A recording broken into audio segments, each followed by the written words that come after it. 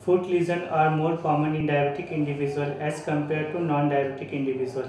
It is characterized by neuropathy, infection and ischemia. Neuropathy and infection are more common in Indian scenario.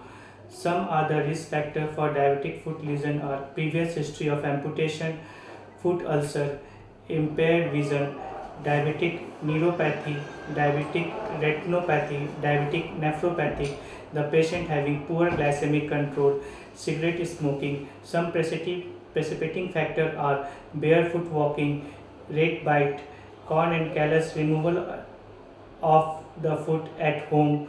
And uh, precaution we have to take wash our feet daily basis, inspect our feet daily basis, any swelling, any any cracks, marks, anything will occur in food we have to consult our physician